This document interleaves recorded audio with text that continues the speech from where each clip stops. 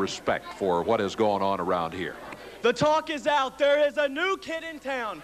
The days of the legends ruling the USWA are finished. We're beginning a new era right now, here today.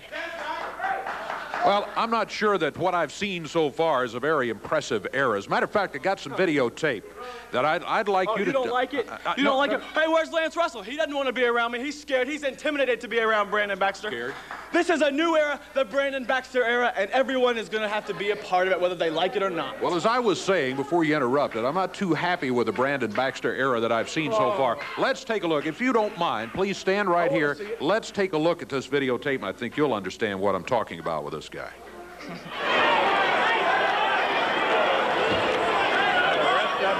Where is he? Where is Jimmy Valiant?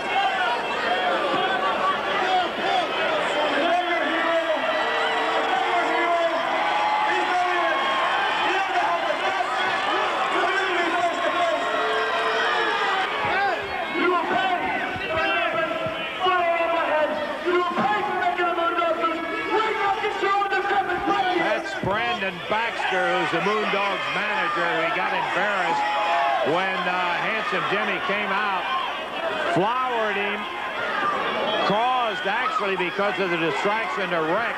He called Jimmy out here and said, get in the ring, and I'm going to take care of you. And Handsome Jimmy did. Here comes Tommy Rich rolling out. He rakes Jimmy across the eyes. Here comes Doug. Gilbert and slams Jimmy right in the ribs with an iron pipe.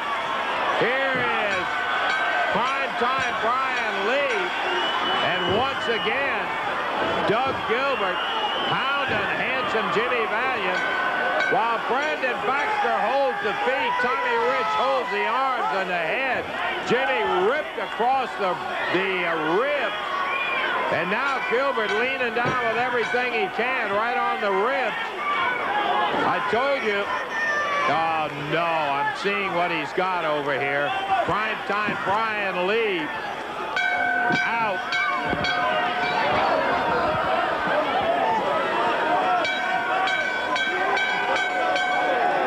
As they're going to tar and feather Jimmy. What kind of lousy deal is this?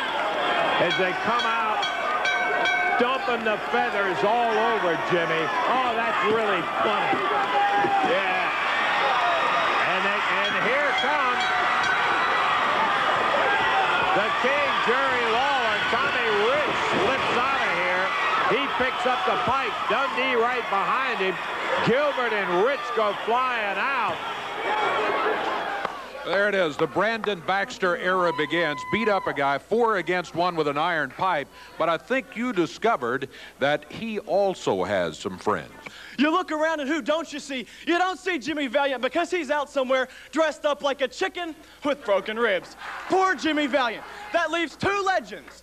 One being the supposable king of Memphis, Jerry Lawler, and the other being superstar Bill Dundee. So what I've done, I've taken a step to further myself. I have formed a corporation. Let me bring them out here right now. I'm talking about Dangerous Doug Gilbert, Primetime Brian Lee, and Jim Harris, my bodyguard.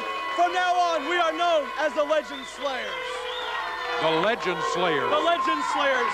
Oh. Well, You know, Dave Brown, it's right, Brandon. Brandon's a very smart man. See, there are some legends that need to be slayed.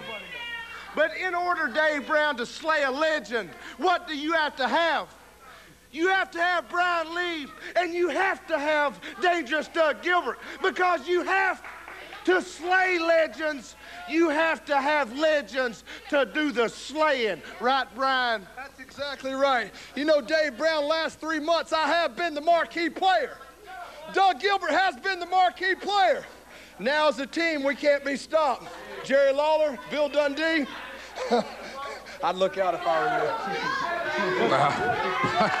I'm not the only one who would look out. Yeah, you better look out too, Dave Brown, because I'm fixing to hop up in this ring right here, and I'm fixing to destroy Brickhouse Brown. Well, we'll see. Let's go to the ring right